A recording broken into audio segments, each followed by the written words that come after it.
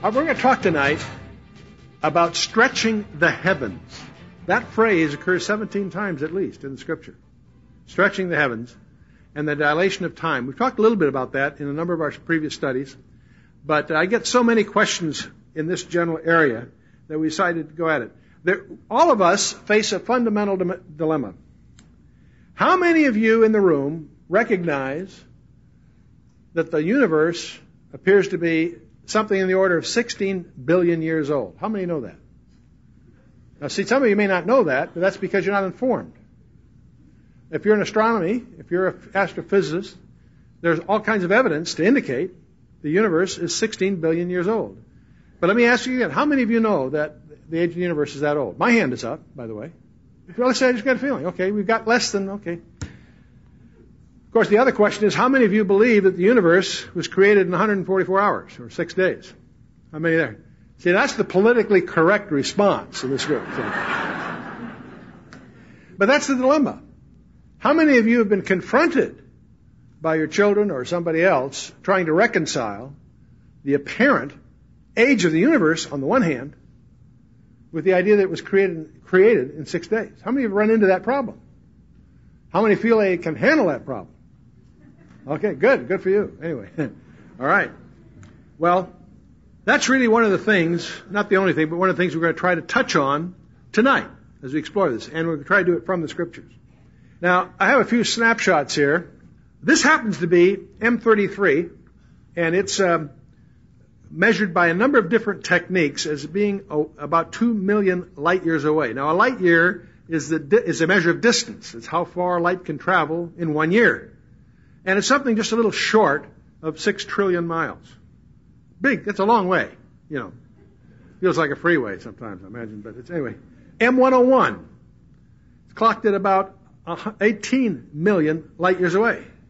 Now this is just a very difficult thing to deal with because the experts who have tried to attack this from a Christian point of view really don't have any good arguments. It appears to be about 18 million light years away. Uh, here is M51, 25 million light years away and uh, NGC 32 million light. These are all. I just have. I've selected here some spiral galaxies for another reason I'll come to later in the discussion. And uh, here, yeah, uh, that was 32 million light years. Here's uh, M88 at about 65 million light years. Now these, the, and there's one more here, NGC 772, which is apparently about 106 million light years away. Spiral galaxies. Now, this leads, of course, to the fundamental questions. Is the universe, in fact, 15 billion years old? Well, that's a difficulty because there are those that try to attack that, but it's hard to find scientific evidence to attack that. I'm not talking about the age of the earth now. That's a whole other thing. The age of the universe. And, uh, the whole, we all know about the Hubble telescope named after Edwin Hubble, who formulated what they call Hubble's law. When it was observed in the 20s, primarily, that the light from the stars tends to get shifted to the red. That is, the spectrum of the star gets shifted to the red. Uh, he noted that the further away they are, the more they get shifted, and that led to what's called the red shift. And one of the conjectures su- supporting the red shift was the idea that the reason they're shifted to the red is that they're racing away from us. And uh, uh, by something analogous to the Doppler effect. At least that's been the conventional wisdom and uh, that's called Hubble's law, and one reason the telescope's named it that. But the question that we struggle with, of course, is because the scripture would indicate that the universe was created in just six days, and that's a different issue of what happened after the six days. But one of the ways that some people try to get around this is say, well, yes, these things are so many billion light years away, but when God created the universe, these things were the light was created in transit to look like it was that far away. That's a view. And, uh, uh, and many, uh, uh, many people hold that view. That would imply that the aging factors in our universe were built in. And uh, I personally have trouble with that because that would make God a deceiver. Others like to also wrestle with this idea that the uh, days of Genesis were geological ages. One day is a thousand years. So they use that excuse to say, well, these were not just thousands of years, they may be millions of years, but they try to match the six days described in Genesis with the various geological ages. And there's many creative attempts to try to reconcile it. But at least as far as I personally am concerned, um, that dog don't hunt, as they would say down south. Okay. So we're going to get into this a little bit, but in order to do so, on any of these kinds of ideas, one of the things we need to leave behind is the baggage of misconceptions or preconceptions that we carry to a subject. If you take any um, class in paradox resolution or in epistemology, one of the things you realize that many problems are appear to be unsolvable because we impute to the problem preconceptions that are incorrect. Uh, let's talk a little bit about this idea of time. And to do this, uh, I'm going to uh, indulge a little bit in some things that we've talked about in the past. This may be repetitive to some of you. In the field of trigonometry, if we have a triangle, and here I've got a 30, 60, 90 triangle, uh, if I add up the degrees that triangle, adds up to how much? 180 degrees. How many knew that? Okay, good. We're together. Okay, that's great. Okay, it's about 1900 out of 2000. That's about right. Okay. If I have a 45, uh, 4590, same thing, that adds up to 180 degrees. Now, suppose we go out into a large field here, and uh, we lay out a very large triangle, and uh, we discover that the angles in the this triangle adds up to more than 180 degrees. We discover, say, let's say there's 70 degrees in each corner, and uh, we come back to 210 degrees. What would you conclude? Well, Chuck Missler screwed up again. Yeah, no. No, what would have, if we find such a triangle, what would, what have we encountered? Good for you, the curvature of the earth. If you have a triangle with more than 180 degrees in its three corners, you are in a convex surface. If you have a triangle with less than 180 degrees in all three corners, you have a concave surface. The point is, this little rule that we were taught in school is only true for a, a universe of two dimensions.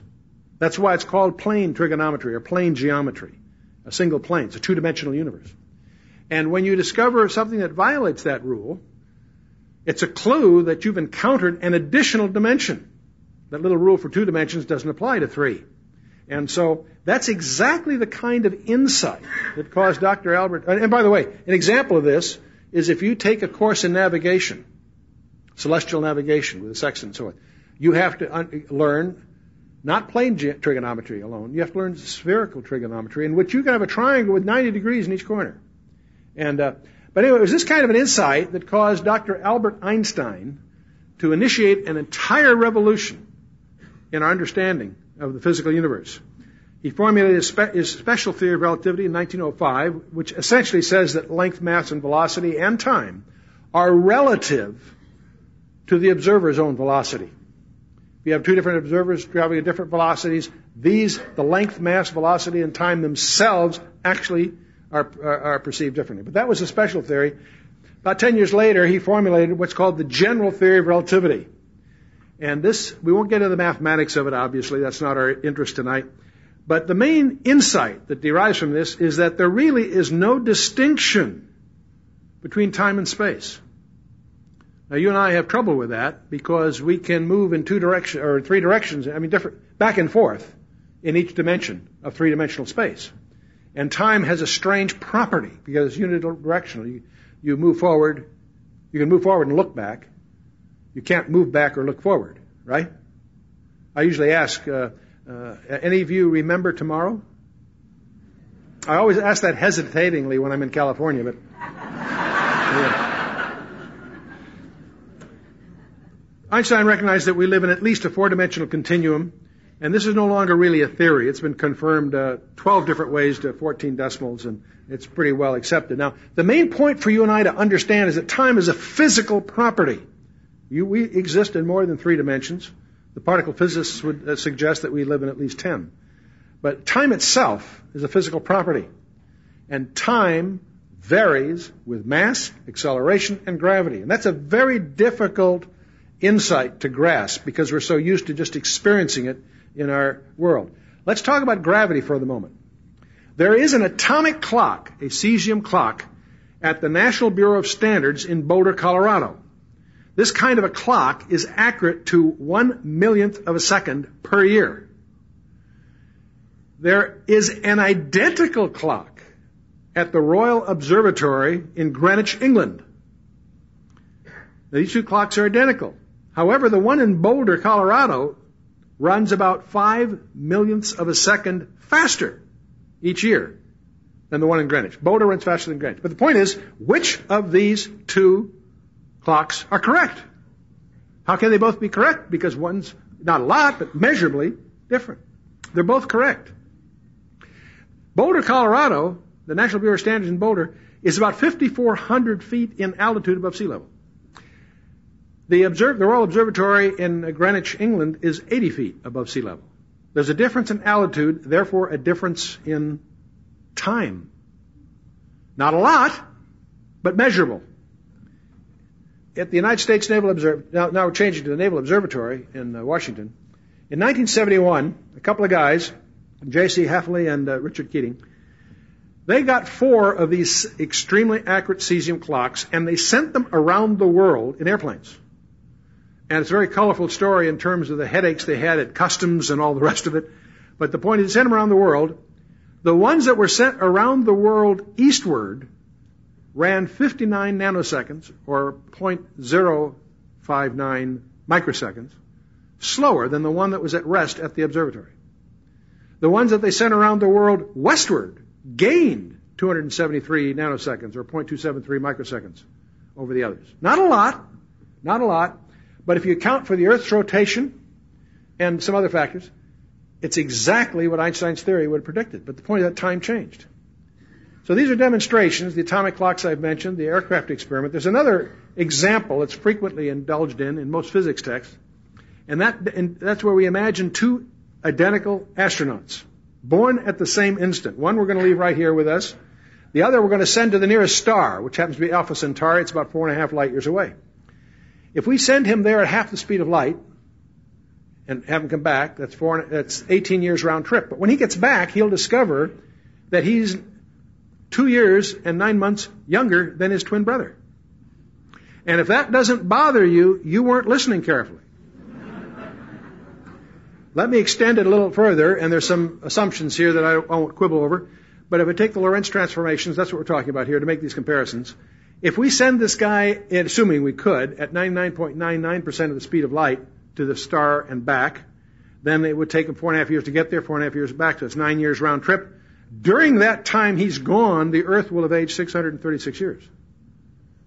So you hope he bought some Microsoft stock before he left. But in any case, all these examples are uh, intending to do is get us to understand that time is a physical property and subject to change.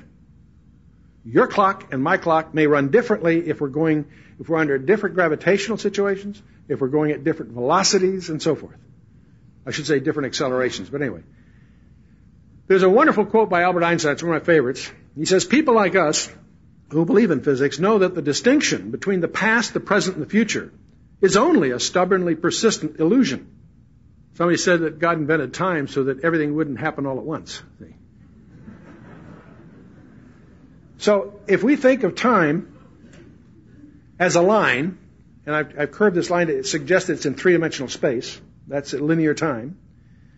Back there is the past. We're right here in the present. There's the future ahead of us. If we are living in eternity, free of the constraints of time, then we can see the past, the present, and the future simultaneously. And that's what God says He does. I alone know the end from the beginning. Now, you can reverse this too, by the way. You want to get cute about this? Let's, let's say the people in the past, let's represent that by someone who died a thousand years ago. The people in the present will talk about someone who died yesterday. And the people in the future say someone that got raptured a week from Tuesday. They all might arrive at the throne of grace at the same instant. I'm not saying they do. I'm just trying to stretch your perception of these things. Well, let's jump into Genesis chapter 1 and find out what the designer says. Because he's the only guy that was there. With all due respect, I can name a number of apologists, even some Christian apologists, that I don't believe were there watching. Okay? So while we may enjoy their books and conjectures, uh, we should recognize that everybody is just indulging in just that, conjectures. Let's see what God said about it. Genesis chapter 1, you know the, uh, the verses, dig into it, have it in front of you. In the beginning, God created the heaven and the earth. Period. We could spend a week talking about that verse. Seven words in the Hebrew prof- there, there are volumes of rabbinical literature written about that first verse. The very shape of the letters turn out to be relevant, by the way. But we'll keep moving on. And the earth was without form and void. The word was actually is a transitive verb implying an object, but I won't start on that one. The earth was without form and void, and darkness was upon the face of the deep. And the Spirit of God moved, or brooded, if you will, up, up, uh, upon the face of the waters. The word move there is like a hen moves over her eggs, if you will. And then we have the first direct quote of God in the Bible, and God said, let light be, or the way we translate it here, let there be light. And there was light. And God saw the light, that it was good. And God divided the light from the darkness. Let's pause for a minute. How can you divide light from the darkness? I thought darkness was the absence of light. We use that term to denote the absence of light, but God is dividing the light from the darkness. And what it might have in view here is not darkness like you and I think of it, but more like a black hole. Something which light cannot escape from. Quite a different thing. But let's move on.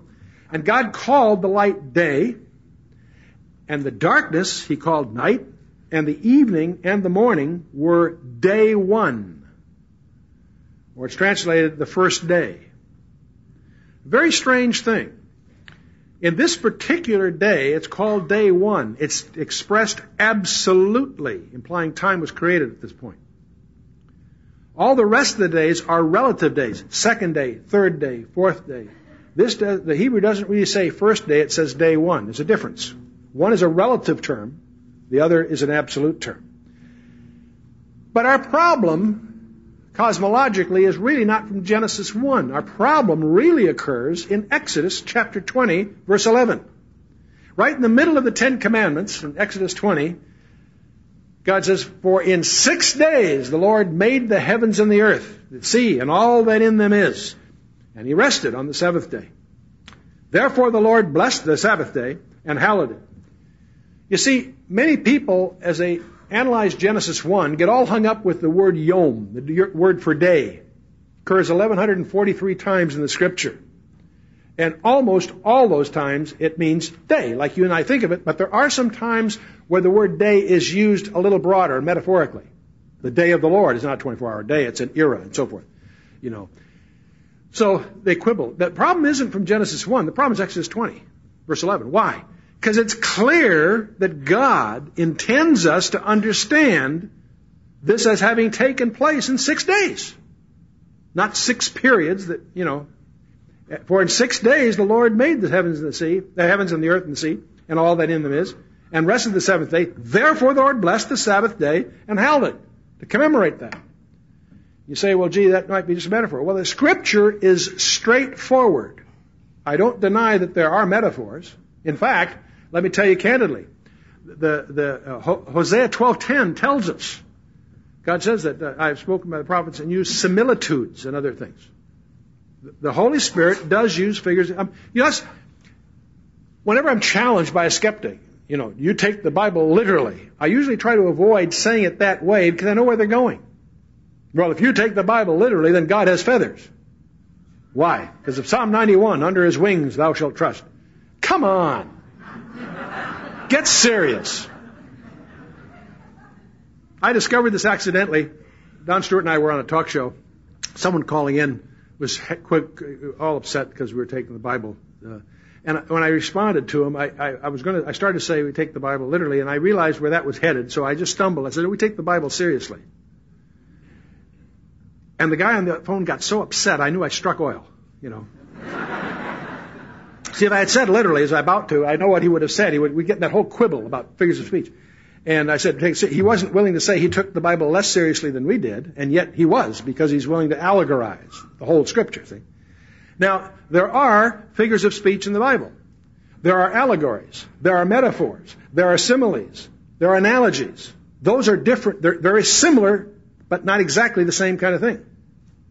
How many different kinds of rhetorical devices do you think the Holy Spirit uses in the Scripture? Make a guess. Seven. Good guess, but wrong. That's okay. we have, as an appendix, as an appendix in our book on cosmic codes, we have a list of rhetorical devices defined and then a scripture as an example of where it's used. Do you know how many there are in there? Over 200 different kinds of rhetorical devices defined and exampled. And uh, so, the, but the scripture is all, even though it may use figures of speech to communicate, its intent is always the Holy Spirit uses puns. There's all kinds of puns in the scripture, right? You know, uh, we speak of water, the washing of the water by the word. The water is always what the word of God, living water, right? Then in Revelation we see the saints standing on what? The glassy sea. You see, here we wash in it, there we stand on it. What is he talking about? The Word of God. That's, uh, that's idiomatically a, a, form of pun, if you will. Um, there are all kinds of examples of that throughout the Scripture. But that, it's always straightforward. And, and uh, Scripture even says that. In Proverbs 8, all the words of my mouth are in righteousness. There is nothing froward or perverse in them. They are all plain to him that understandeth and right to them that find knowledge. Now the word plain there is nakoch, which means straightforward. See, the word uh, plain means, in the Hebrew, plain. Now, we looked over the first six verses. Let's pick up on verse 7 and 8 in Genesis 1. And God made the firmament and divided the waters which were under the firmament from the waters which were above the firmament, and it was so.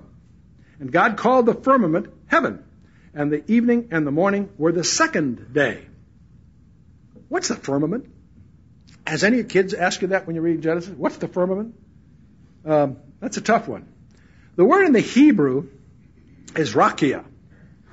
And in the Hebrew, it means an extended surface or expanse, but it usually implies a solid expanse. Well, the skeptics will say, well, this is just an echo of the Hebrew from the ancient tradition that the world was inside a large, you know, large sphere or something, a solid sphere, and the stars were holes in it or something. You know, some of these ancient Greek myths, they, they impute those to the Hebrews. No, no, no, no. By the way, the Greek translation of this in the, in the Septuagint is stereoma, which is, again, means firmness. In the Vulgate, the Latin, it's called firmamentum, uh, which means a three-dimensional solidity or firmness. What's interesting, yes, it means expanse, but it implies solid expanse somehow. And that's in the Hebrew, the Greek, and the Latin picks that up, and that's why we call it firmament in, in our English translations typically. Is it solid or firmness? It's interesting in Proverbs 8:28 it says, "When he made firm the skies above." Are the skies above firm? You know, I always remark that when I moved away from Los Angeles, I don't trust air I can't see, you know. but I don't think that's what he's talking about. Job 37:18 Can you with him spread out the skies strong as a molten or cast mirror?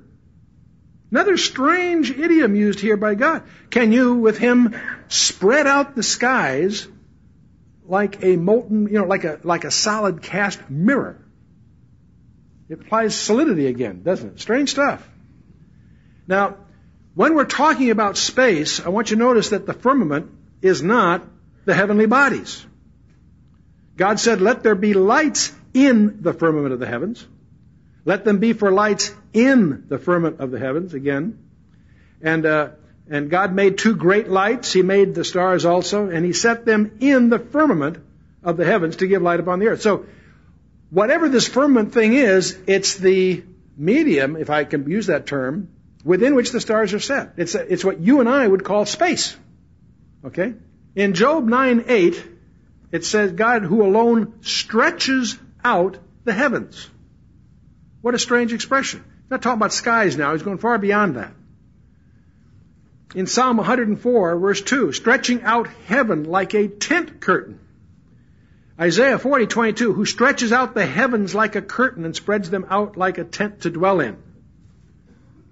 In Jeremiah 10, 12, he has stretched out the heavens. And Zechariah 12:1, the Lord who stretches out the heavens.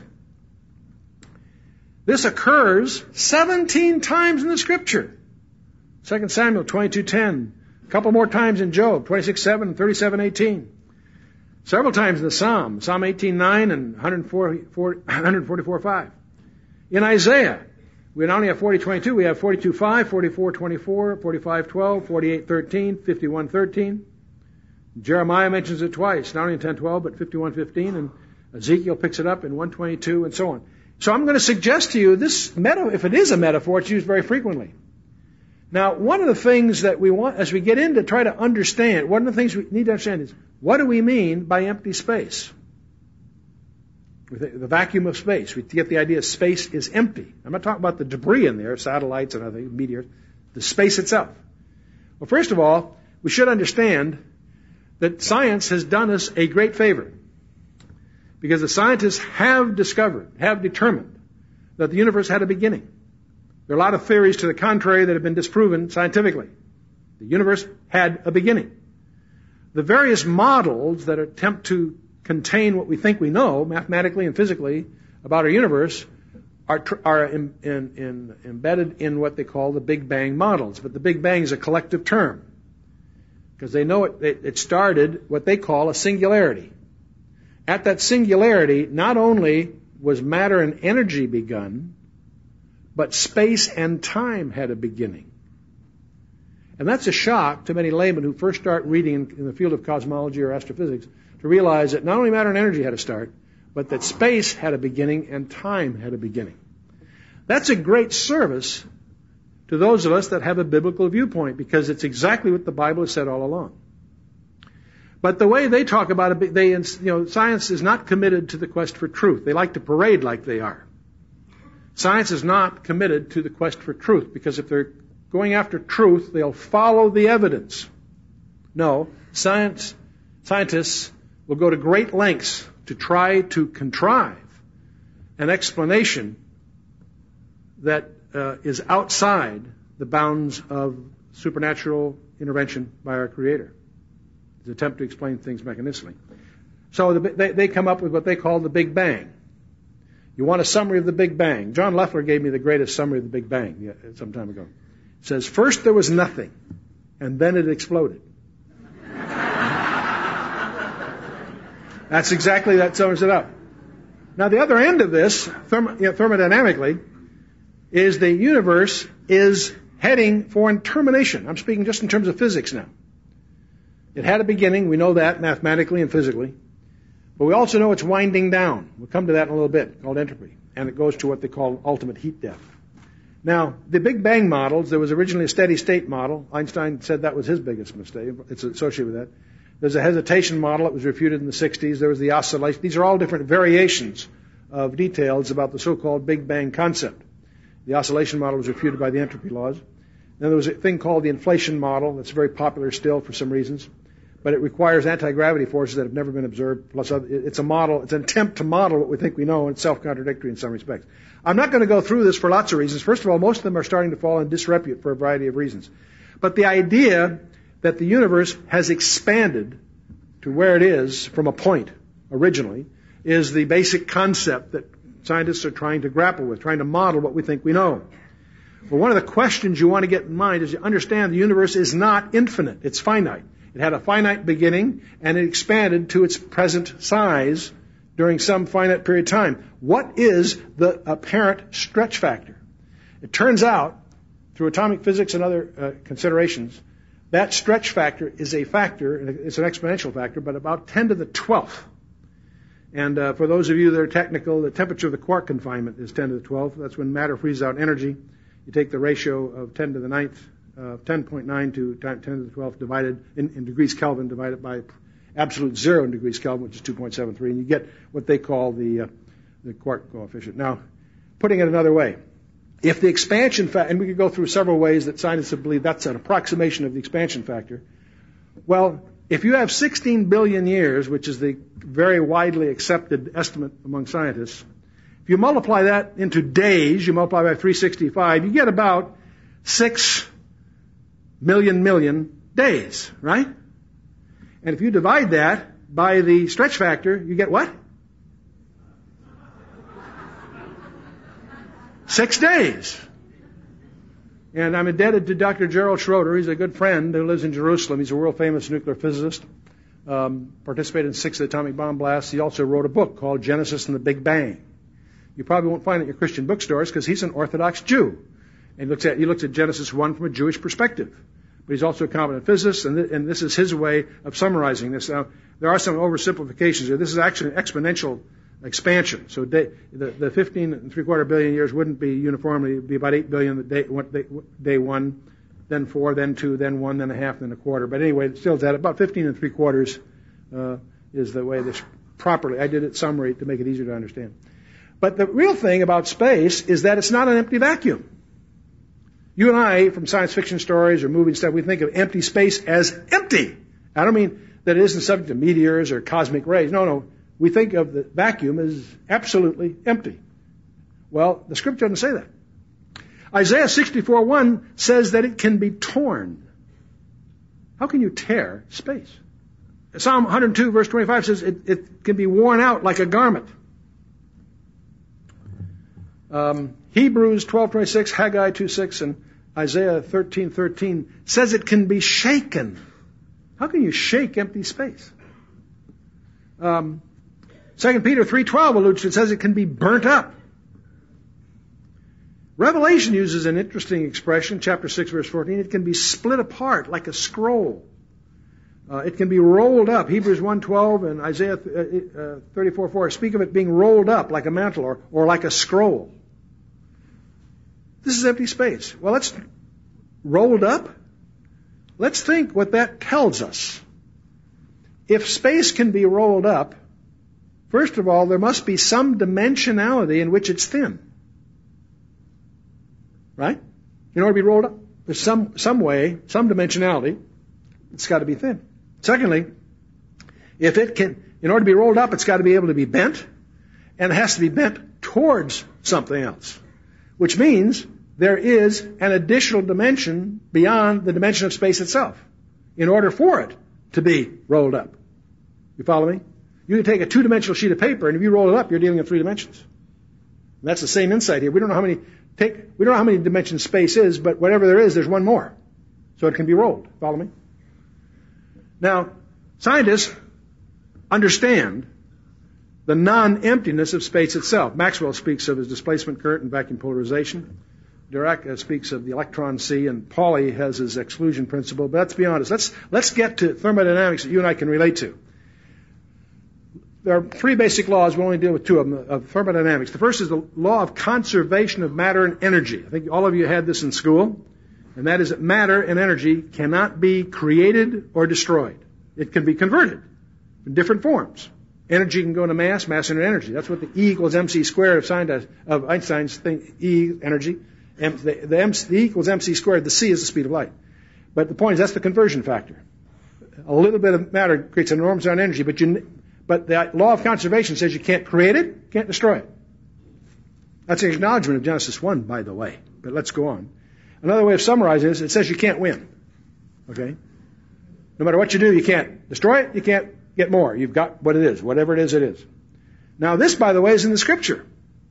Genesis 2, verse, uh, verse 2, 3. On the seventh day, God ended his work. There's no more matter and energy created after day six. None. People like to say, well, the stars are creating new matter. No. Whatever they're doing, they're converting from the past. Why? Because on the seventh day, God ended his work. To talk more about that in a minute. Hebrews 4, 3, 4. His works were finished from the foundation of the world. There isn't creation continuing. It's done. All the things that are therein, in Nehemiah 9, 6, you preserve them all. These are all allusions, if you will, to the conservation of matter and energy. Well, thermodynamics, we took the first one, conservation law. The second law is perhaps the most profound one for us to all understand. It's called the law of entropy, also called the bondage of decay. It basically says that in any thermal trans- transaction, there is a loss. You can't have an engine that's 100% efficient. No matter how hard you work, whether it's friction or some other factors, some of the energy involved will be lost to the ambient environment. And uh, the ambience is, is if you look, if you think of it as randomness or entropy, that's why they call it the law of entropy. This basically says you can't even break, you, not, you can't win, you can't break even. Whenever you do anything, there's going to be a loss. You convert gasoline to electromotive, you know, mechanical energy, you're going to have some losses. And, and, and that's a basic understanding in every field of science except one. Every field of science understands the tyranny of the uh, second law of thermodynamics. There's only one field of science that chooses to ignore it. That's biology. Because that, you cannot, you can just dis- dismiss the theory of evolution if you understand the laws of entropy. Now, this is also in the scripture. Psalm 103 it says, "They shall perish, but it's being of the earth, thou, but thou shalt grow, but grow old as a garment." Uh, Isaiah 51:6, "The earth will grow old like a, a garment." Heaven and earth shall pass away. Matthew 24:35. There is in the scripture this acknowledgement. It's also everywhere we look. The entropy laws are operative everywhere you look. Let me give you another, a non-thermal example. You spend all day Saturday cleaning up your garage. You put, you put energy in it by putting everything in some kind of order. What happens a week later? The random processes do what? Cause that order to disintegrate. It can be a school locker at, at school. It can be a filing cabinet at home with all your bills or whatever. You, you spend a lot of effort to get it all straightened out. But then as time goes on, unless you're attending to it, unless there's an input of more energy, it's going to go to what? To randomness. If we started talking about the dimensionality of time and talked about time going backwards, and let's assume we talked enough about that that you got concerned, because you begin to realize that if time's going backwards, all our measuring sticks are also going backwards. How could we tell whether they're going forward or backward if everything's relative? There is a way. You go get a deck of cards and you shuffle them. If you had a deck of cards that were all random and you shuffled them and, they, and a couple times and it came out in bridge order, would you be uncomfortable? you wouldn't know why. The reason you would why because you you you you the entropy laws like are called the arrow of time. You can tell what direction time is going by following, are we going from order to randomness?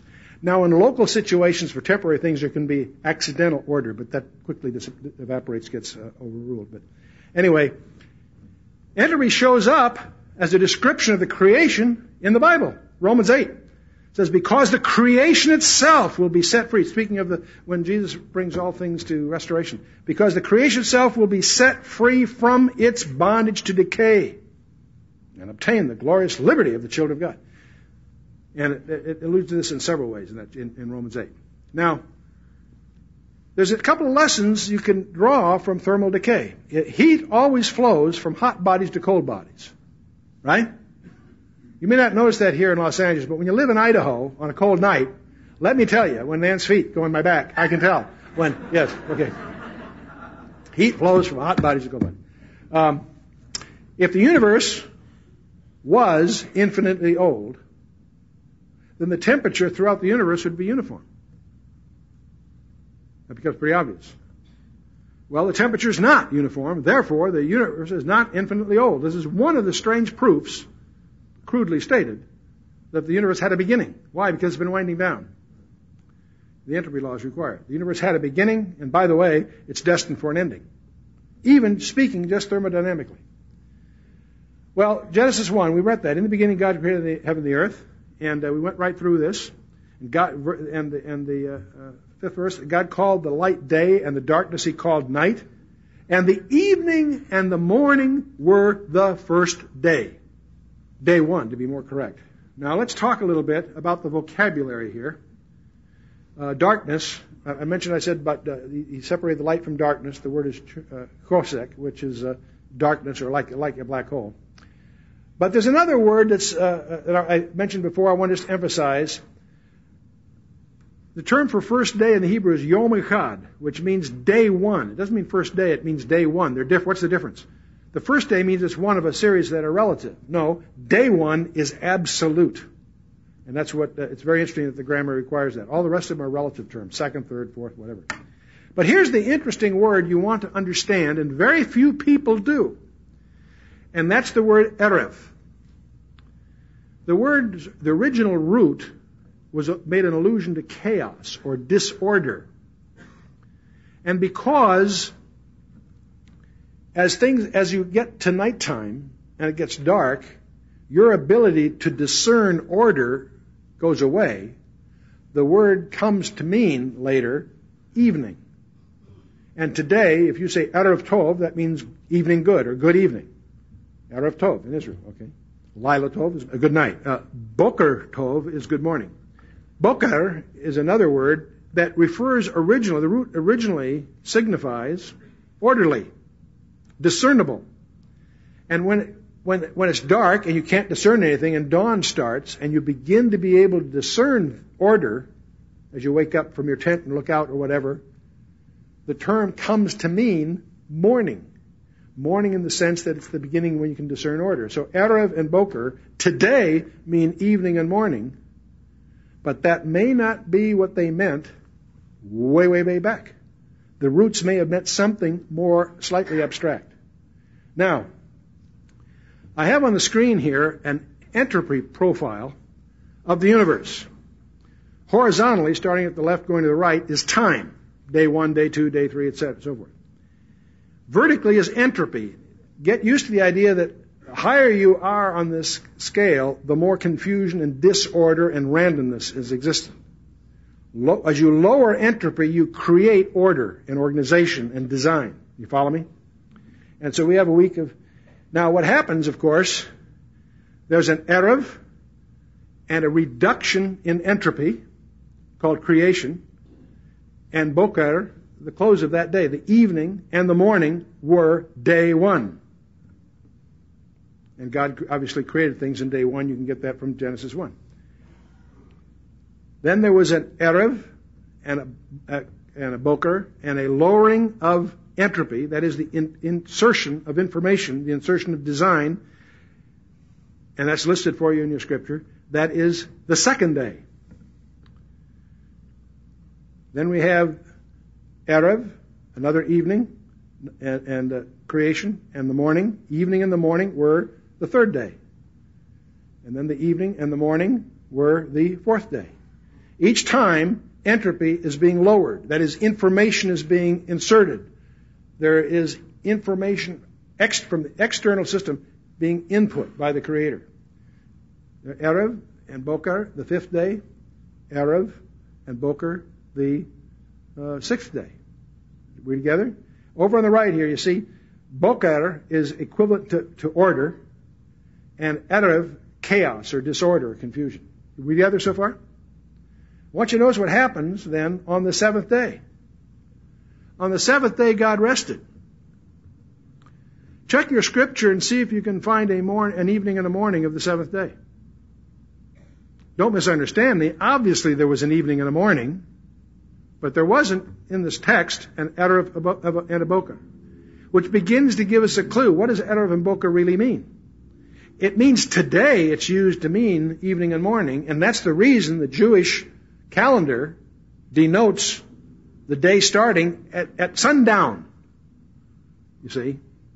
Because you if you know the Jewish calendar starts at sundown from the evening, you know, and so on, from from uh, from uh, night from nighttime to, to the next nighttime. Now, it's because of the way the, those words are used. However, that may not be the signification uh, in uh, creation week. Well, so we are at the, at the end of the seventh day with entropy at its lowest point, or putting another way, the creation at its most highest design level that it ever achieved. Okay? Then something happened. We don't know whether it was on day eight or when, but that's Genesis 3, follows ch- chapter 2, right? The fall of man.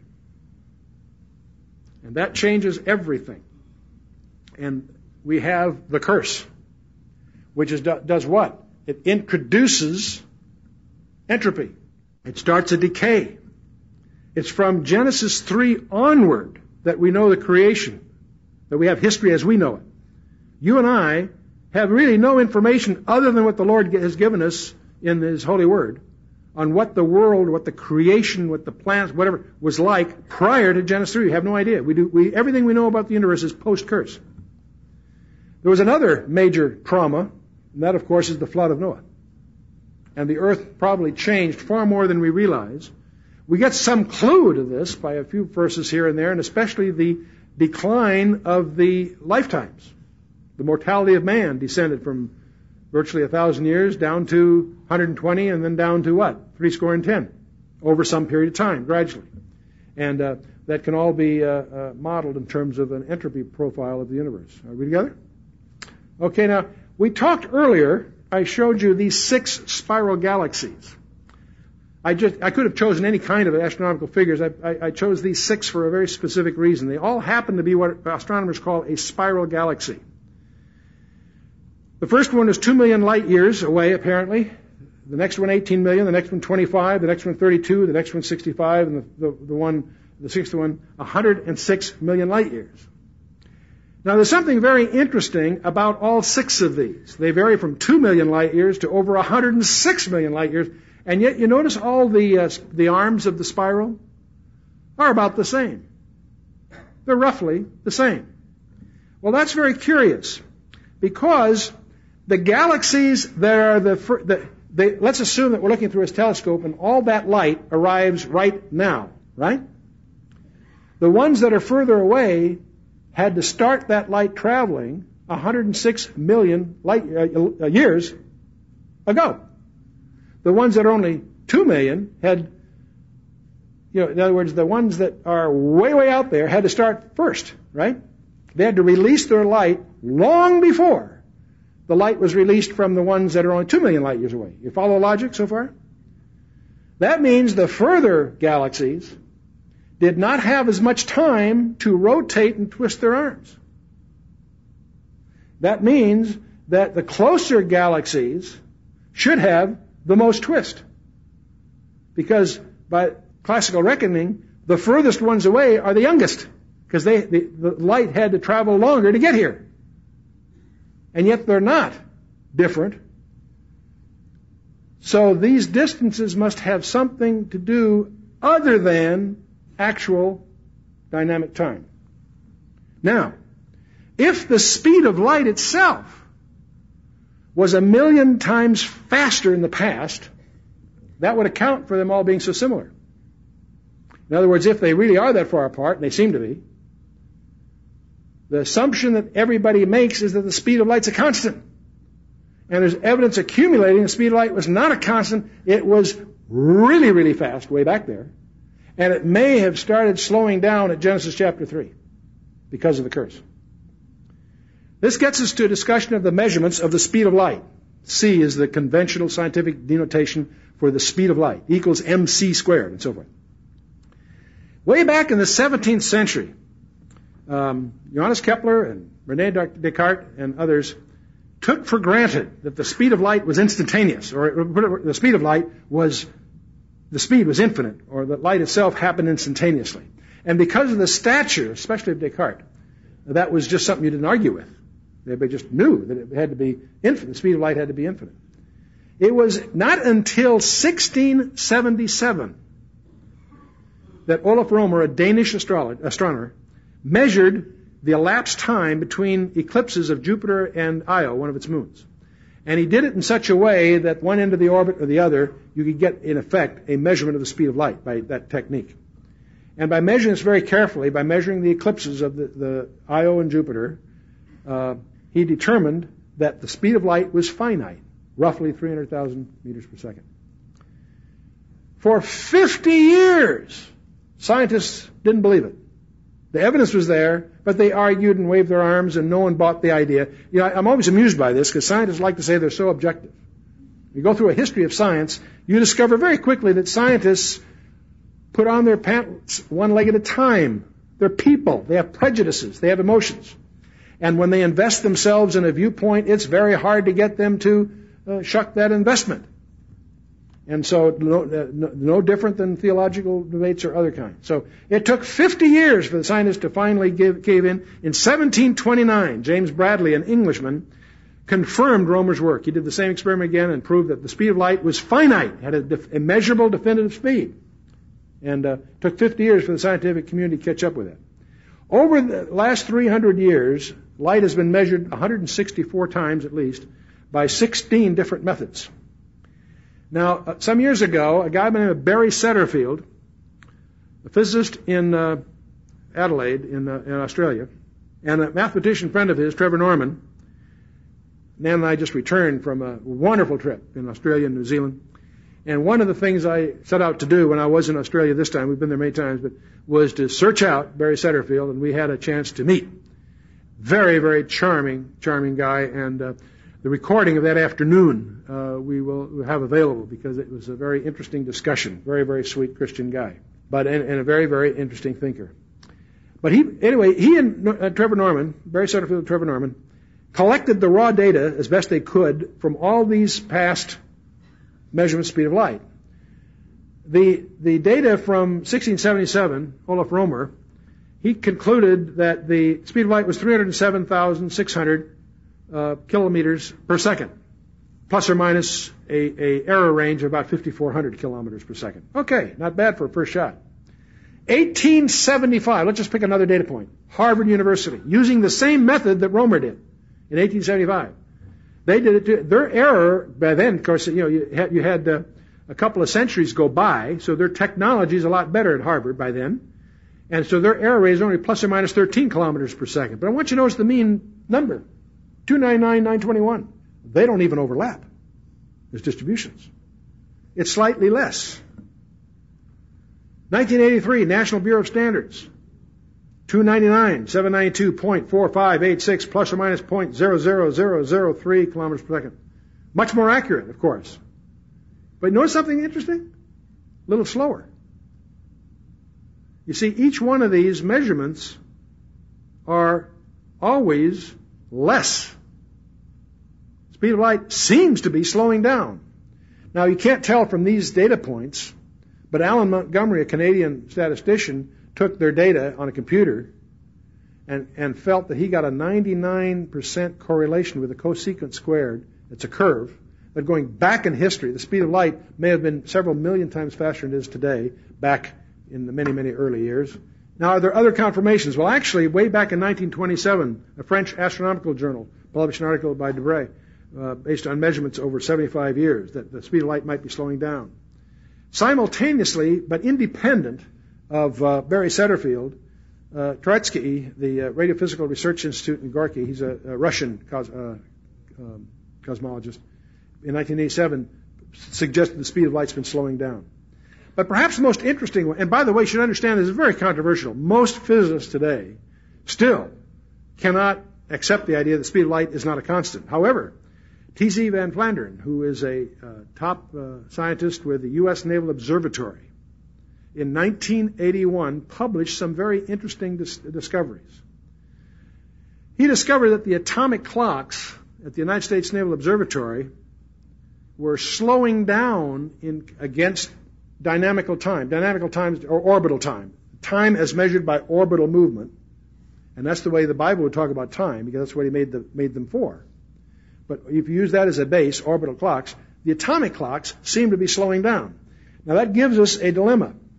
Oh, and by the way, before I go back into that, uh, just recently in our January newsletter this year, uh, we published the fact that a couple of guys have uh, published are, are, anticipating the publication. In fact, this, we got this out of the London Telegraph, but are published expecting in the Physical Review, one of the most prestigious journals, uh, the suggest that time, the speed of light is in fact slowing down. On the one hand, I was uh, charmed to see it finally because it's been this has been sort of a, a fringe area among physicists, and this is a very prestigious journal. Uh, I was very disappointed in the article because they failed to mention, even in passing, Barry Setterfield's landmark discoveries of many years ago, which is a form, in my opinion, it would seem to be somewhat of a, uh, some snobbery there. But let's talk about atomic time. Prior to 1967, if I asked you what was a second, you'd tell me it was 131 millionth in a fraction of one orbit around the sun. In other words, it was defined orbitally up till 1967. Since 1967, a second has been redefined as uh, some, nine, some 9 trillion, in some numbers, oscillations of the cesium-133 atom. The point being that the definition of a second changed in 1967 for some standards reasons from an orbital definition to an atomic definition. What wasn't obvious to many physicists is all the attempts to measure the speed of light slowing down by atomic clocks would be ineffective after 1967 because whatever's changing, the atomic clocks are changing with it. And that's something that was just relatively recent. See, if, let's put it the other way, the atomic clocks and the orbital time are not agreeing. Well, if the atomic clocks are correct, that means the orbital speeds of Mercury, Venus, and Mars are increasing. Well, that violates the law of conservation. In other words, the energy coming from. And they're not increasing. If the gravitational constant is truly a constant, then atomic vibrations and the speed of light are decreasing.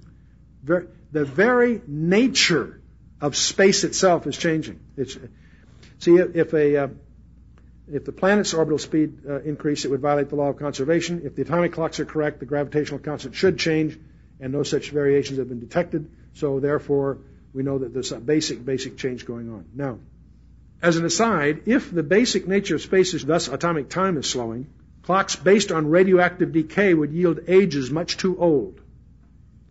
And this kind of correction would bring radiometric clocks more in line with other methods. It's interesting that no primordial isotopes have half-lives less than 50 million years. They may have simply decayed away when the radioactive decay rates were much greater, basically.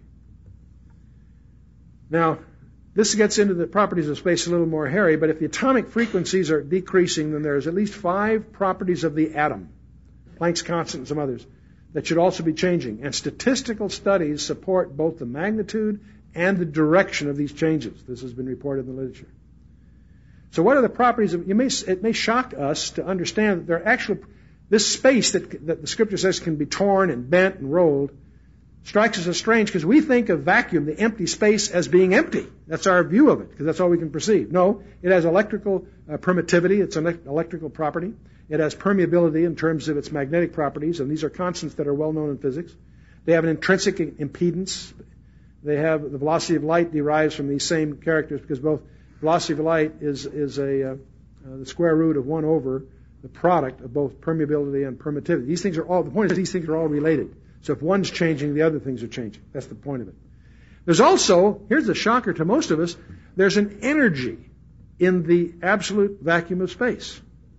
That's a shocker to most people.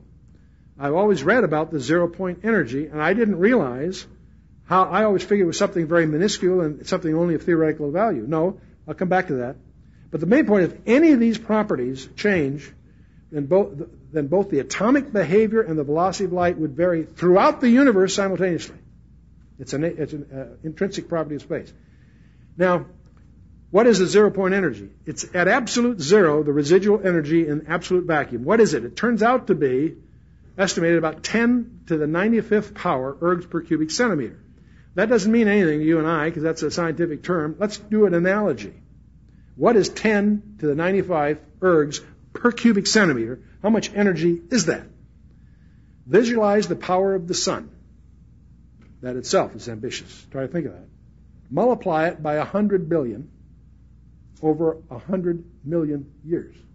That's the energy that's available in every cubic centimeter of empty space.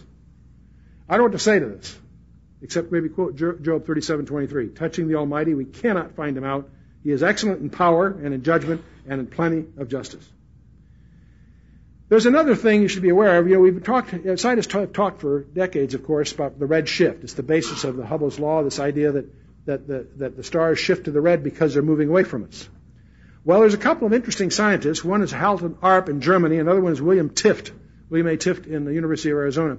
They've spent the last number of decades collecting information on what they call aberrant red shifts, red shifts that are going the wrong way, that aren't conforming to Hubble's law. William Tifft has made a discovery that is very, very disturbing he discovers that the redshift data, if you look at it carefully, is quantized. That is, it always shifts in steps. You can't find red shifts at some arbitrary continuum. It's in other words, the difference, if you can think of the difference between a violin string and a piano key. A violin string you can put wherever you like. Sometimes it sounds good, sometimes it doesn't, but it's up to your skill. You can make any sound you want on it. A piano, you're hitting key, you're limited to the keys. You follow me? I'll call a piano digital. I'll call the violin analog. The red shift is not analog, it's digital. That is, it turns out that it's always a multiple of a specific number. A little, a very small number, but a specific number. Now what this means is, it's not obvious, is that the red shift may not be caused by the Doppler effect. There's a lot of reasons to believe it doesn't anyway. It may be caused by a change in basic atomic behavior, where the basic properties of space are changing, causing the electron orbits in the atoms to change, and that's causing the shifting. And uh, there, Barry Setterfield has, pub- has uh, submitted a paper to the physics uh, journals uh, to uh, get that published. He's done the. It turns out it's not obvious, but it turns out that this redshift quantization is another evidence of the apparent slowing down of the speed of light. Well, so we sit here in a universe in which, on the one hand, our scientists are learning a great deal about about about the universe. We're learning a great deal about physics, quantum physics, and the rest. But as we stand back from all of this, we find that everything that they've talked about is anticipated in the Scripture. And I have uh, stayed short of trying to build a cosmological model of the universe derived from the Scripture. You know, what, what, what we need to do, obviously, is study the Scripture carefully and try to take what we think we really know about physics to try to put this together into a model we can visualize. So far, the ones that I've had the opportunity to review fall far short, one way or the other. The, the Big Bang models uh, are under great criticism by cosmologists anyway, because they, as you try to reconcile mathematically what we think we know uh, about the physical laws, it, they don't quite compute. We know it had a beginning, but exactly trying to structure it some way has all kinds of other problems. Russ Humphreys wrote a book called Starlight and Time.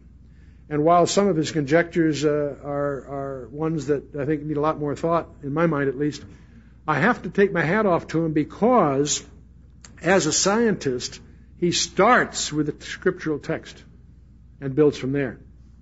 It builds a model. So it's a very provocative book to read. Uh, I, st- I, think there's still a lot to be uh, uh, to be learned about this. But the good news, I think, is that the more we learn from the Scripture, and the more we think we understand from physics, the more it fits together. What we've got to be careful of is not to bring to the text or to our scientific endeavors our prejudices. When we read about Erev and Boker, yes, it sounds like even in morning, evening and morning, but there may be behind the, that terminology some much more profound meaning. And uh, this indeed is another, what I might call a cosmic code as to what really happened because the only observer that was there that actually did it was the author himself, and he has given us his record of what happened. So on the one hand, the place in this that we know where we stand is to stand on the Word of God because we know it's right. That doesn't mean our understanding of the Word of God is correct. We may be understanding it through the lens of our own prejudice and presuppositions. But we don't have to cower or apologize or be embarrassed by Genesis chapter 1 or any other chapter or verse in the scripture. We just need to go at it humbly enough to realize that our perceptions of it may be frail or incomplete or myopic in some sense. They certainly are. But it is fascinating that as we do understand the scripture, and as we do understand what the discoveries of the laboratory, we're getting more and more insight into the strange reality that we live in. We've discovered, just to touch on a couple of other things, we've discovered there are two concepts in mathematics that are very convenient conceptually, but they are totally absent from our universe. One of those concepts is infinity. Those of us that have studied mathematics, you come across the idea of infinity, where two parallel lines meet. Well, they never do meet. So where's infinity? Well, it's a long way that way. Well, uh, it turns out that uh, most of us, especially as we grew up, figure, well, infinity, that's, that's way beyond the stars. It's out there somewhere.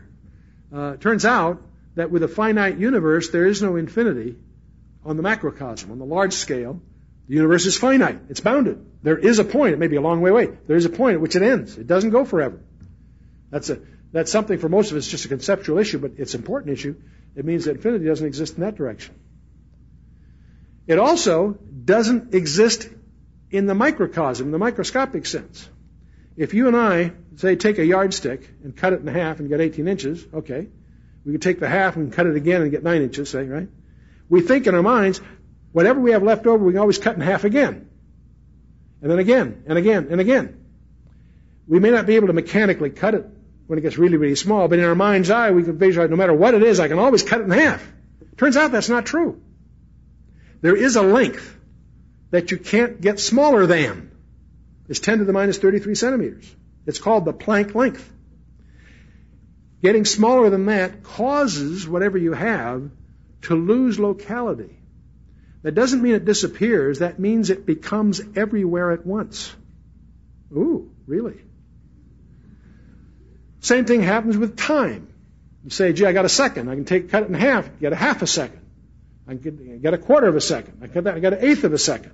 I get down to shutter speeds of a camera, and I get smaller and smaller and smaller and smaller and smaller.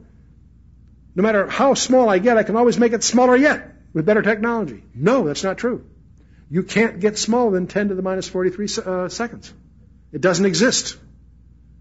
There's units of mass, energy, length, and time that you cannot get smaller than. And the discovery of that fact is the basis of what we call quantum physics. That's why they call it quantum physics, that everything is digital.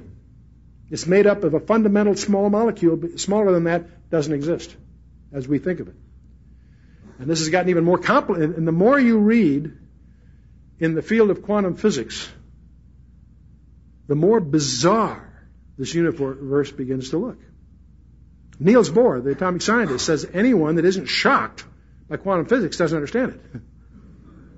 Uh, Richard Feynman at uh, Caltech has also said another way. He says that uh, unquestionably, there's nothing wackier or sillier than quantum physics, except it is unquestionably correct. Uh, Einstein went to his death, frustrated, convinced that that there must be another way to look at it. And, and I won't start on. In fact, one uh, Boltzmann uh, committed suicide. Couldn't handle the implications of what he believed he understood about quantum physics. Um, and yet, our microprocessors, our lasers, all these things depend on quantum physics. A very strange, strange world.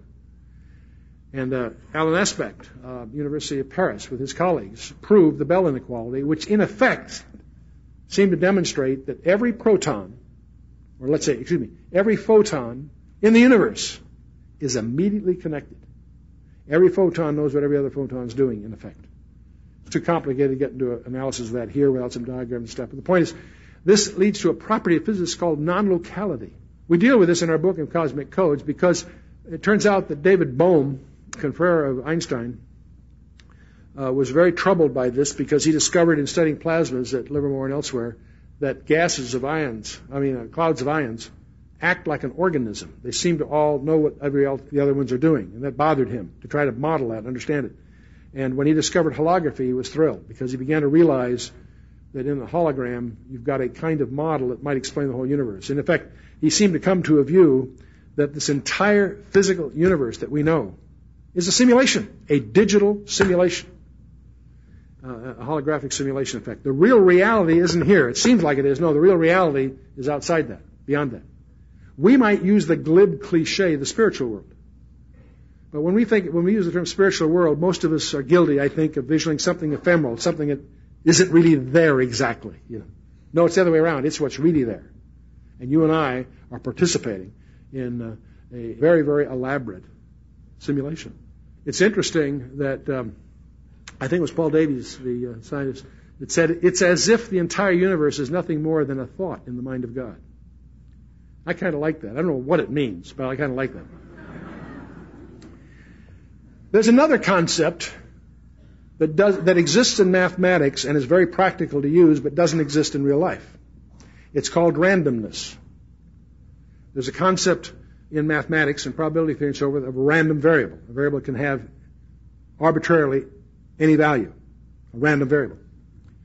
It turns out most of us would think that there are random variables. I go to Las Vegas and pull that lever, and there's a random variable. Okay, or I can roll dice, or I can play a, you know a game of what we call a game of chance.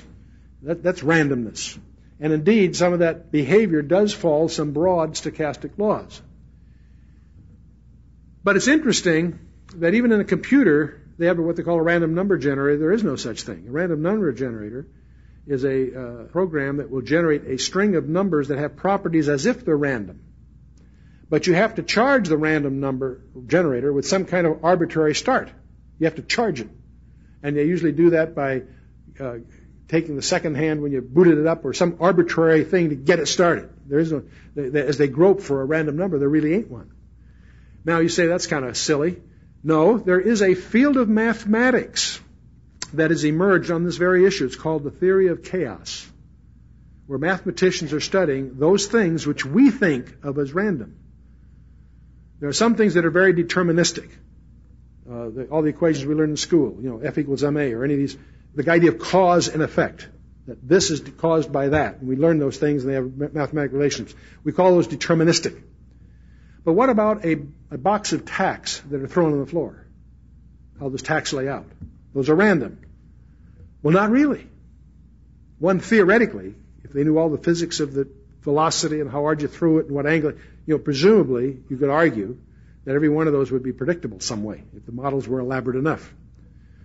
Uh, the the uh, distribution of debris after an explosion, we think of that as random, but it turns out mathematically it ain't really. And the study of these kinds of strange things is called the theory of chaos. It turns out that they're beginning to realize that conceptually you can't find random, not true randomness. You can find things that seem random. And as I grope with this, I'm always amused as I read these papers, is because that's what the Bible said in the first place. The lot is in the lap of the Lord. Einstein is famous for, in arguing with one of the physicists, he says, God does not play, God does not play dice. He's famous for that quote. He wouldn't accept certain kinds of statistical issues. And I think, I forgot who it was that, uh, uh Roger Penrose, I think, said, uh, if he did, he'd win. Meaning, of course, exactly what the scripture says, that God is in control of the, uh, of the dice. And that means that you're here tonight by divine appointment. How'd you come here tonight? Well, you may have heard the remark on the radio, or some friend dragged you here kicking and screaming, or whatever. Um, you're here tonight. And you're, if we understand the scripture correctly, and we apply what we think the mathematicians are telling us, you're not here by accident. God may very well have some cosmic purpose in your being here, being here tonight. And so, lest I take my extra time and use it up abusively here, uh, let me get back to a few scriptures and we'll close. We've talked a lot tonight about the heavens, the expanse of space. And Psalm 19 summarizes very well. The heavens do what? They declare the glory of God. And the firmament, there's that word again, showeth his handiwork. Day unto day uttereth speech, and night unto night showeth knowledge. There is no speech or language where their voice is not heard. Indeed, that information goes everywhere. Their line has gone throughout all the earth, their, and their words to the end of the world. I love the next verse, verse 5. He says, In them he has set a tabernacle for the sun, which is as a bridegroom coming out of his chamber, and rejoices as a strong man to run a race. His going forth, that is the sun's going forth, is from the end of heaven, and a circuit unto the ends of it. And there's nothing hid from the heat thereof. And verse 6, I love that when I was in high school. Uh, his circuit, it said, there's nothing hid from the heat thereof. There's thermodynamic, uh, you can relate that to the laws of thermodynamics. Nothing hid from the heat there. And I had a skeptic saying, yeah, but it says it's going forth, it's from the end of heaven and uh, from one end, and the circuit unto the ends of it. And that's silly. Copernicus shot that. That's the Ptolemaic cosmology, that the sun goes around the earth. we know the sun doesn't go around the earth. This is old fashioned Ptolemaic cosmology. Copernicus taught us that we revolve around the sun. My skeptic hadn't done his homework. Because while we revolve around the sun, what's the sun doing? It's revolving in the galaxy. How long does it take to get around? I think it's something like 25,000 some years. I've forgotten the number. The sun does literally go from one end of our galaxy to the other. And uh, neither Ptolemy nor Copernicus realized that, I don't believe. But it's here in the scripture because it's going from the end of heaven and it's circling into the ends of it. Nothing hid from the heat thereof. Uh, before I leave this Ptolemaic Copernicus thing, I will share with you, without trying to add it to your burden tonight of proof, I have the strange view that the earth is the center of the universe. Now, my Einsteinian friends will argue with me that, you know, they'll say that everything's relative, and I say, fine, if everything's relative, then any reference I choose is as good as any other. And I choose the earth. but I also think, and I haven't developed it enough to really present it yet, but I also believe you can show that the earth is the center of the universe despite all the other orbital complications that surround, that, that in effect thus surround us. And uh, the one that comes closest to these kinds of perceptions that I've found is uh, Russ Humphrey's books uh, tend to uh, build on this uh, basic approach. I build it on because of things Jesus said. I think that Hades and Gehenna are opposites. Sheol, or the abode of the dead, is where? I think I know where it is. It's at the center of the earth. Why? Because it's, it's associated with the abyss, the bottomless pit. Where is there such a thing as a bottomless pit? There's only one place that you can have a bottomless pit. And that's at the center of a sphere. Because at that point, every direction's up. And uh, you know, it reminds me of the, the famous uh, little uh, riddle we had as kids.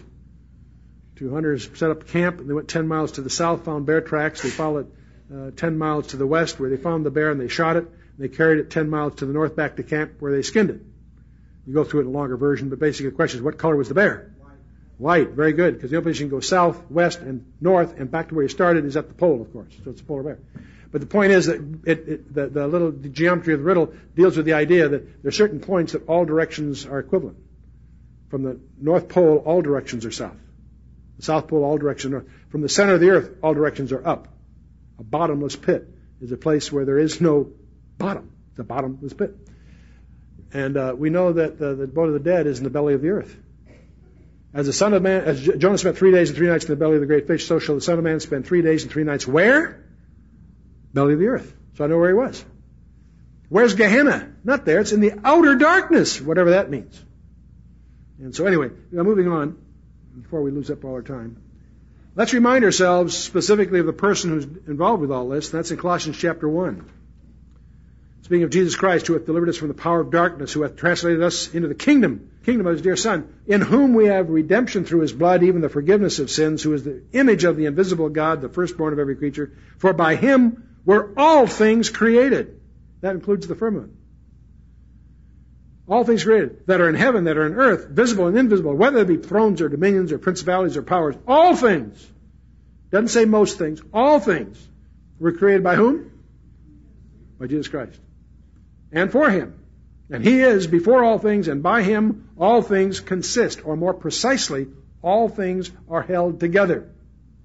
I believe he's the source of that 10 to the 95 ergs per cubic centimeter that is the zero point energy of even absolutely empty vacuum of space.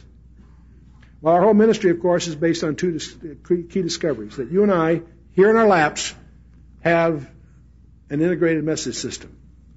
66 separate books penned by 40 different guys over thousands of years. And yet, it's an integrated message. Every number, every place name, every subtlety of the original text is there by supernatural engineering. Secondly, though, you can prove that the source of this integrated message system is from outside the dimensionality of time itself, outside our time domain. And you do that a number of ways. You can do that by its anticipation of our most advanced scientific discoveries. But you can also, even more so, discover it by its recording in detail history before it happens. And all you have to do is look at our horizon understand what the Bible says and understand what's going on in Europe, in the Middle East, in China, wherever. It's all part of a scenario that's been laid out in great detail in the Scripture, and it's as timely as today's or tomorrow's newspaper. Well, I talked before about this timeline. I spoke to the people in the past of being in, in the past, and we're here in the present, and that scientists argue about is it possible to go back in time? Is it possible to to uh, to reverse, to somehow reverse entropy, go back in time? And if you and that's a very popular theme in literature because many people like to play with this idea because if you go back in time, the fear is that you create paradoxes. What happens if you go back in time and kill your grandfather? Then you never become born. So you, you create, and, and, there's a lot of fun literature. The, the, the, the, the writers for decades have had fun with this. Uh, the, the famous time machine story and other things. There are lots of them. We have uh, more modern versions of uh, going, you know, Back to the Future and, and tongue-in-cheek uh, spoofs of these things, and, and uh, uh, you know, uh, Somewhere in Time is a romantic thing. Again, these themes of time reversals. Is it possible to go back in time? The mathematicians say yes. The physics, physicists say yes under very peculiar conditions. A positron may be an electron in a time reversal, according to a Nobel Prize in Physics not long ago. Well, I don't know about all of that, but I do know there was someone who entered the time domain not to alter our future, but to fulfill it. He went back in time, you might say, and he entered the time domain. We're, these are the people back there, this is us. He entered time and wrote us a love letter. That love letter was written in blood on a wooden cross erected in Judea some 2,000 years ago. Everything in the entire created universe is going to be measured by its relationship to that event in history on a cross erected in Judea virtually 2,000 years ago. And that everything includes you and me. If you were to die tonight, heaven forbid, on the way home, and you were, your destiny throughout eternity, once you leave this time domain, will be determined by your relationship with that person. Do you know about him? Or do you really know him? You see, I think we're entering a period of time about which the Bible says more than it does about any other period of time in history. And if that's true, the events that are looming on our horizon are going to get stranger and stranger and stranger, and yet more and more conformity to the ancient biblical scenario. And I think some of us in this room will have the opportunity to give our lives for our faith in the Lord Jesus Christ. I think biblical Christianity is going to get increasingly politically incorrect. And knowing Bible verses won't be enough. Memorizing your scripture won't be enough. What you know about Him won't be enough. Knowing Him is the only thing that will get you through the kinds of periods that may be coming to try them that dwell upon the earth. So I encourage you, if some of these ideas have disturbed you, praise God, that may be the Holy Spirit nudging you to reconsider some of your priorities. I suggest that no one leave this room tonight with any apprehension about their cosmic destiny should something cause you to be confronted with your Creator in the near term. Why? Because you can leave this room with your eternity sealed by the blood of Jesus Christ. Let's stand for a closing word of prayer. Let's bow our hearts. Father, we praise you for the opportunity to gather together here this evening. We thank you, Father, for your word. We thank you, Father, for your Holy Spirit that gave us this word and that, has, that will illuminate it to ourselves and our lives. We also thank you, Father, that in your kingdom there are no accidents, no coincidence, no randomness, that it's a totally entropy free universe as far as you're concerned. And that means, Father, we're all here right now by your design, by your ordination. We thank you, Father, for that privilege, that opportunity. We pray, Father, that the lessons not be wasted. We pray, Father, that you would accomplish your purpose in each of our lives. And Father, indeed, we recognize there may be some among us who have yet never really made that commitment of themselves and their lives and their destiny. Put that in the hands, in your hands, Father pleading nothing else but the blood of Jesus Christ. Father, we acknowledge before your throne that we are without any plea, without any defense, that we are sinners, that we are helpless in cosmic things, that we are totally the beneficiary of what you have done for us. Not by any merit that we have, but entirely by your grace and your mercy. We thank you, Father, that you have gone to such extremes that we might live, that we might bear fruit for you, that we might be in your forever kingdom, in your forever family. We do pray, Father, that you would, through your Holy Spirit, just reveal yourselves to us. Let us feel your presence. We pray, Father, that you would illuminate that path before us. For those of us, Father, that have never made that commitment, Father, we just pray right now that you would receive us take over. Guide us. Father, for those of us that have made those commitments in the past but have drifted away from your priorities, we pray, Father, that you would help us with our resolve. Give us discernment in our decisions, Father, and give us resolve in our commitments that we indeed might be your redeemed sons and daughters bearing fruit to you. As we commit ourselves this night into your hands, in the name of Yeshua, our Lord and Savior, the Mashiach of Israel, and our King of Kings and Lord of Lords. Amen. For a complete listing of materials to further enhance your personal Bible study, or to receive a free one year subscription to Chuck Missler's 32 page Christian Intelligence News Journal, contact Koinonia House at 1 800 K House 1. That's 1 800 K H O U S E 1.